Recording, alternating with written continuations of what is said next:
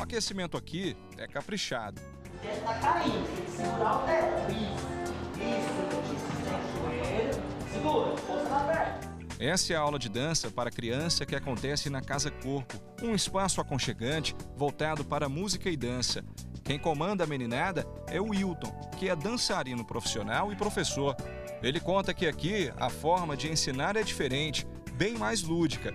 O nome já diz tudo: dança de dançar. Essa dança nossa é uma dança mais de experimentação, de conhecimento do seu próprio corpo e das potencialidades que a gente tem dentro do universo da dança.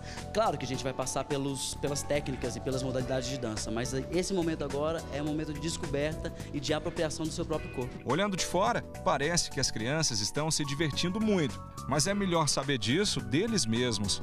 A aula é muito legal, assim, um experimento muito legal, assim, de dança, instrumentos, assim, na segunda, sabe? O que, que você acha da aula?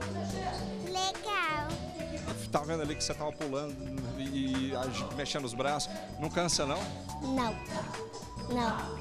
Não cansa.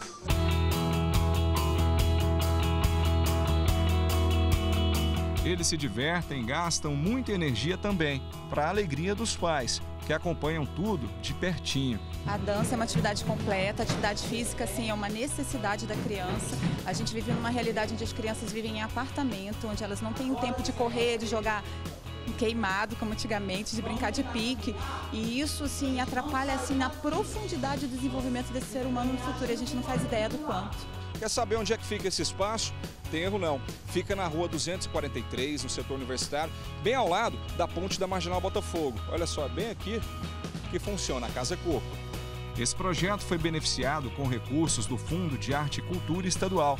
Por isso, o valor da mensalidade é quase simbólico, apenas 30 reais. Durante esse semestre, além das atividades desse projeto, a gente vai ter atividades de outros projetos, de outros, de outros grupos que participam da casa, então vale a pena acompanhar nossa programação.